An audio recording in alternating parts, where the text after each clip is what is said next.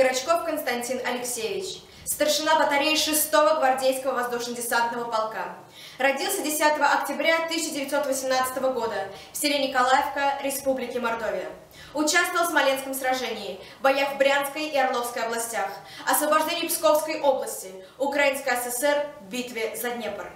30 августа 1944 года во время боя за село Албешти Константин Алексеевич смело выдвинулся вперед.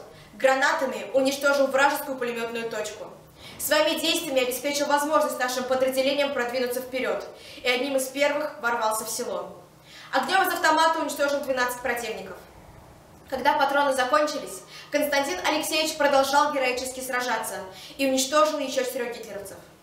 Указом Президиума Верховного Совета СССР от 24 марта 1945 года старшина Крачков Константин Алексеевич был удостоен высокого звания Героя Советского Союза с вручением ордена Ленина и медали «Золотая звезда».